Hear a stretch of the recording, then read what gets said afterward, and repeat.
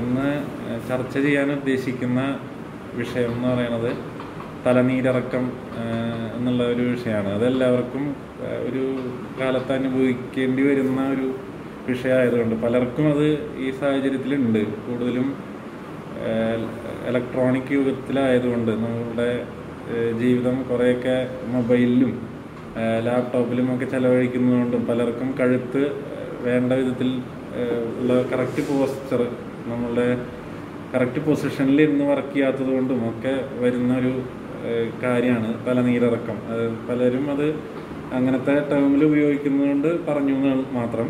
പലരും അങ്ങനത്തെ ഒരു ഭാഷയിലാണ് അത് പറയുന്നത്.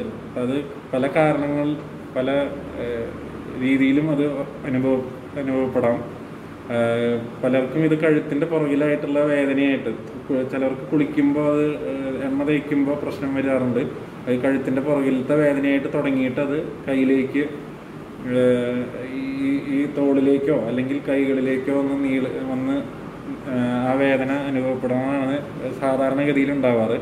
ചിലർക്ക് കഴുത്തിൽ മാത്രം അത് നിൽക്കാം അല്ലെങ്കിൽ തോളിലേക്ക് മാത്രം നിൽക്കാം അല്ലെങ്കിൽ അത് ചിലപ്പോൾ ചിലർക്ക് ഇവിടെ നിന്ന് കഴുത്തുനിന്ന് പുറകിലേക്ക് വരെ ഇറങ്ങാം. അപ്പോൾ ഇതിൽ ശാസ്ത്രീയമായിട്ട് ഇത് പറയുകയാണെങ്കിൽ സെർവൈക്കൽ റാഡിക്കുലോപ്പതി എന്നൊക്കെ പറയാം. കഴുത്തുനിന്നാണ് ഞരമ്പുകൾ കൈകളിലേക്കും അല്ലെങ്കിൽ കഴുത്തുനിന്നാണ് ഇതിന്റെ നെർവസ് പ്ലെക്സസ് എന്നൊക്കെ പറയും. ഇവിടുന്ന് ഞരമ്പുകൾ തുടങ്ങിയിട്ട് രണ്ട് നമ്മുടെ നട്ടലിന്റെ ഇടയിൽ കൂടെയുള്ള ദ്വാരങ്ങളിലൂടെയാണ് രണ്ട് കൈകളിലേക്കും ഞരമ്പുകൾ പോണേ. അപ്പോൾ സ്വാഭാവികമായിട്ടും ഇവിടെ നീര് കെട്ടുമ്പോൾ ഈ കംപ്രഷൻ അതിന്റെ ഫോഴ്സ് ആ നീരിന്റെ ഫോഴ്സ് വരുന്നത് ഞരമ്പുകളിലേക്കാണ്. അപ്പോൾ ആ ഞരമ്പുകളിലേക്ക് ആ ഫോഴ്സ് കംപ്രഷൻ വരുമ്പോൾ ഈ ഞരമ്പ് പോകുന്ന വഴിക്കൊക്കെ വേദന എടുക്കുക. ചിലർക്ക് ഇങ്ങോട്ട് നെഞ്ചിലേക്കൊക്കെ ആയിട്ടുള്ള വേദന. പലരും ഇത് ഹാർട്ട് സംബന്ധമായിട്ടുള്ള വിഷയമാണെന്നൊക്കെ വിചാരിച്ച് ഇ സി ജി എടുക്കാറുണ്ട്.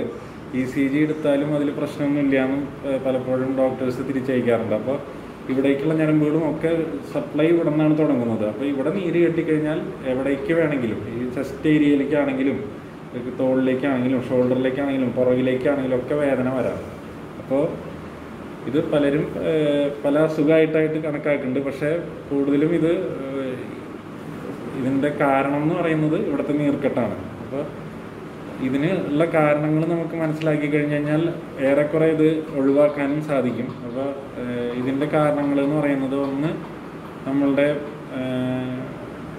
ഉറക്കത്തിന്റെ ശൈലി. ഉറക്കം നമ്മൾ കൂടുതലായിട്ടും പലരും സൈഡ് ചെരിഞ്ഞ് കിടന്ന് ഉറങ്ങുന്നവരായിരിക്കും. ചിലരും നേരെ കിടന്നുറങ്ങുന്നവരുണ്ട്. കൂടുതൽ പേരും ഒരു സൈഡിലേക്ക് ഏതെങ്കിലും ഒരു സൈഡിലേക്ക് തിരിഞ്ഞ് കിടന്നുറങ്ങാൻ ആഗ്രഹിക്കുന്നവരായിരിക്കും. അപ്പോൾ അങ്ങനെ വരുമ്പോൾ കൂടുതലായിട്ടും തലേണയുടെ ഹൈറ്റ് നമ്മളുടെ പില്ലോ ഹൈറ്റ് ശരിയായിട്ടില്ലെങ്കിൽ ഈ ഒരു തലനീരിറക്കം പോലെയുള്ളത് അനുഭവപ്പെടാം. അത് രാവിലെ വരെ നമ്മൾ കഴുത്ത് ഒരു സൈഡിലേക്ക് ടിൽറ്റ് ചെയ്തിട്ട് കിടക്കുകയാണെങ്കിൽ രണ്ട് സൈഡിലേക്ക് ഏതെങ്കിലും ടിൽറ്റ് ചെയ്ത് കിടക്കുകയാണെങ്കിൽ ആ സ്ഥലത്തെ ഞരമ്പുകൾ കൂടുതൽ അമർന്നിരിക്കുകയും അങ്ങോട്ട് വേദനയായിട്ടും നീരായിട്ടും വേദനയായിട്ടും അനുഭവപ്പെടാം.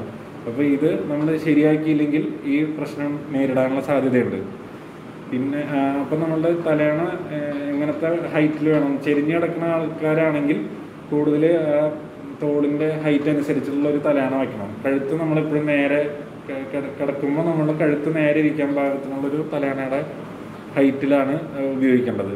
പിന്നെ വേറെ നമ്മൾക്ക് ഇതിനുള്ളൊരു സാധ്യത എന്ന് പറഞ്ഞു കഴിഞ്ഞാൽ കൂടുതൽ നേരം മൊബൈലിലും ലാപ്ടോപ്പും ഒക്കെ ഉപയോഗിക്കേണ്ടി വരിക ജോലിയുടെ ഭാഗമായിട്ട് ഉപയോഗിക്കേണ്ടി വരുന്നവർ ഇതിന്റെ മോണിറ്റർ മോണിറ്റർ എപ്പോഴും ലാപ്ടോപ്പിന്റെ ഒക്കെ ആണെങ്കിൽ നമ്മൾ ടേബിളിൽ വയ്ക്കുമ്പോൾ എപ്പോഴും ഒരു സൈഡിൽ താഴത്തേക്ക് ചെരിഞ്ഞിരിക്കുന്ന ഒരു പൊസിഷനിലാണ് വയ്ക്കുക. അപ്പോൾ നമ്മൾ കൂടുതൽ കഴുത്ത് ഇങ്ങോട്ട് കുമ്പിട്ട് ഇരുന്നിട്ടായിരിക്കും ലാപ്ടോപ്പിലേക്ക് നോക്കുന്നത്. അപ്പോൾ ഇത്രയും നേരം നമ്മൾ ജോലി ചെയ്യുമ്പോൾ അത് അറിയില്ല കുറേ നേരം ഇങ്ങനെ ഇരിക്കുമ്പോൾ ഇവിടുത്തെ മസിൽസ് എപ്പോഴും ജോലി ചെയ്തുകൊണ്ടിരിക്കുകയാണ്. ആ ആ ഇത് തല അങ്ങനെ ആ പൊസിഷനിൽ പിടിക്കാൻ വേണ്ടി എപ്പോഴും പ്രവർത്തിച്ചുകൊണ്ടിരിക്കുകയാണ് ഇവിടുത്തെ മസിൽസ് അപ്പോൾ കുറേ കഴിയുമ്പോൾ അതിന്റെ നീര് അവിടെ അതിനൊരു ഫെറ്റീഗ് എന്ന് പറയും അതിന്റെ അതിന്റെ കപ്പാസിറ്റി തീർന്നു കഴിഞ്ഞാൽ അതിന് നീര് കെട്ടാൻ തുടങ്ങും. അപ്പോൾ ആ നീരും ഇതിന് ഒരു കാരണമാവും പിന്നീട് നമുക്ക് ഇതിന്റെ ബുദ്ധിമുട്ട് എന്ന് പറയുന്നത് കൂടുതൽ തൈര് മോര് അങ്ങനത്തെ സാധനങ്ങളൊക്കെ കൂടുതൽ തണുപ്പുള്ള സാധനങ്ങളൊക്കെ രാത്രി കാലങ്ങളിലും ഉപയോഗിച്ച് അത് ഭക്ഷണത്തിൽ ഉൾപ്പെടുത്തുന്നവർക്കും ഈ കാരണങ്ങൾ കൊണ്ട് നീർക്കെട്ട് വരാം. തണുപ്പുള്ള സമയത്ത് അത് തണുത്ത സാധനങ്ങൾ ഉപയോഗിക്കുക എന്നുള്ളത് ദഹന പ്രക്രിയയ്ക്കും ഒക്കെ ബുദ്ധിമുട്ടാകുന്ന സമയത്ത്. രാത്രി വളരെയധികം വൈകിട്ട് ഭക്ഷണം കഴിച്ചിട്ട് ഉടനെ കിടക്കുന്നവർക്കും ഈ ബുദ്ധിമുട്ട് അനുഭവപ്പെടാറുണ്ട്. കാരണം ദഹനത്തിന് എപ്പോഴും ഒരു സമയം കൊടുത്തിട്ട് വേണം നമ്മൾ കിടക്കാൻ. അല്ലെങ്കിൽ ദഹനവും ശരിയാവില്ല നമ്മുടെ ഉറക്കവും ശരിയാവില്ല. ഉറക്കത്തിലാണ് നമ്മളുടെ പല ശരീരഭാഗങ്ങളും നീരും റിപ്പയർ നീർക്കെട്ടുള്ളതും അല്ലെങ്കിൽ റിപ്പയർ ചെയ്യാനുള്ളതൊക്കെ റിപ്പയർ ചെയ്യപ്പെടുന്ന സമയം ഉറക്കമാണ്. അപ്പം ഉറക്കം ശരിയായിട്ടില്ലെങ്കിൽ അത് നീർക്കെട്ടിനെ ബാധിക്കാൻ നീർക്കെട്ട് ഉണ്ടാക്കാം. പിന്നീട് ഒരു പ്രശ്നം വരുന്നത് തൈറോയിഡ് തൈറോയിഡ് ഗ്രന്ഥിയുടെ പ്രശ്നങ്ങളുണ്ട്. അതിന്റെ പ്രവർത്തനക്കുറവ്. ഹൈപ്പോ തൈറോയിഡ് എന്ന് പറയും. അപ്പോൾ ആ ഹൈപ്പോ തൈറോയിഡിസത്തിലും നമ്മൾക്ക് നീര് അനുഭവപ്പെടാം. നീര് ശരീരത്തിൽ ആകപ്പാടെ കെട്ടുന്ന ഒരു അവസ്ഥ ഉണ്ടാവും. അപ്പോൾ ആ സമയത്ത് ആ നീർക്കെട്ട് ഇങ്ങോട്ട് വന്നിട്ട് തല ഈ കഴുത്തിലും ആ നീർക്കെട്ട് വന്നിട്ട് ഈ പ്രശ്നങ്ങളൊക്കെ ഉണ്ടാക്കാനുള്ള സാധ്യതയുണ്ട്. തലനീരിറക്കം എന്ന് പറഞ്ഞിട്ടുള്ള പ്രശ്നം ഉണ്ടാക്കാനുള്ള സാധ്യതയുണ്ട്. പിന്നീട് നമുക്ക് കുളി കുളിക്കുന്ന സമയം പല വീട്ടമ്മമാർക്കും പറ്റുന്ന ഒരു കാര്യമാണത്.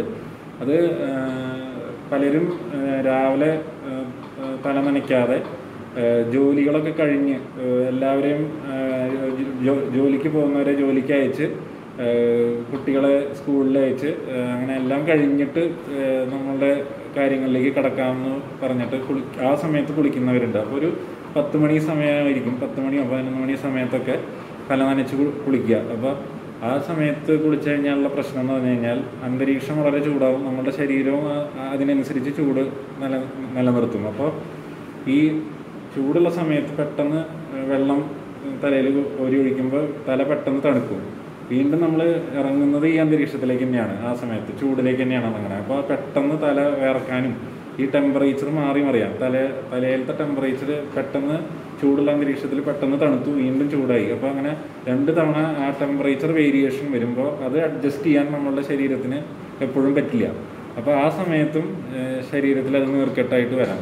അപ്പോൾ പ്രധാനമായിട്ടും ഇങ്ങനെ കുറച്ച് കാര്യങ്ങൾ ശ്രദ്ധിച്ചു കഴിഞ്ഞാൽ നമ്മളുടെ ഇരിക്കുന്ന പൊസിഷൻ നമ്മൾ കമ്പ്യൂട്ടർ ഉപയോഗിക്കുന്നവരാണെങ്കിൽ മോണിറ്റർ ഹൈറ്റ് പലപ്പോഴും ചില ലാപ്ടോപ്പ് ഇങ്ങനെ വെച്ച് നോക്കുമ്പോൾ ഇങ്ങനെ ഇവിടെ വേദന വരുന്നത് അപ്പോൾ മോണിറ്റർ ഹൈറ്റ് ശരിയാക്കി കഴിഞ്ഞാൽ പലപ്പോഴും ഈ വേദന ഒഴിവാക്കാൻ പറ്റും നമുക്ക്.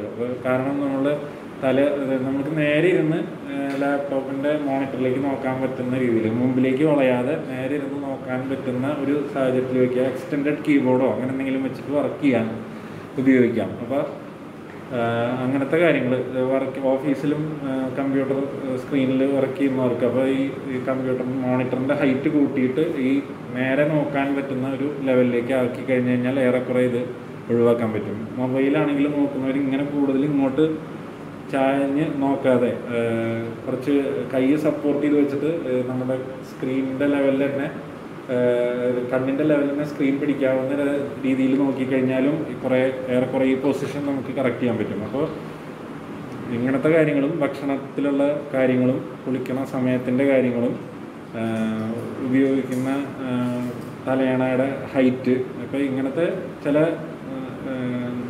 കാര്യങ്ങളും ജീവിതശൈലിയും ഒക്കെ ഒന്ന് നമുക്ക് ചിട്ടപ്പെടുത്തി കഴിഞ്ഞ് കഴിഞ്ഞാൽ ഈ തലനീറിറക്കം എന്നുള്ള ഒരു പ്രോബ്ലം. കൂടുതൽ പേർക്കും എല്ലാ കുറേ കുറേ പേർക്ക് അനുഭവപ്പെടുന്നതാണ് അത് വളരെ കുറയ്ക്കാനും അത് വരുന്ന സാധ്യത വളരെ ഏറെ കുറയ്ക്കാനും ഉള്ളവർക്കത് അതിന്റെ വേദന കുറയ്ക്കാനും ഒക്കെ സാധിക്കും.